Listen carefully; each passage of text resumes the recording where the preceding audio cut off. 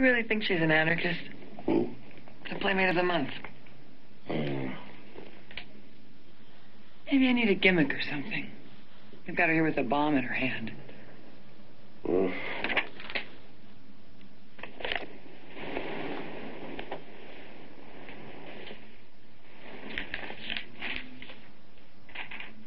Maybe sent you here.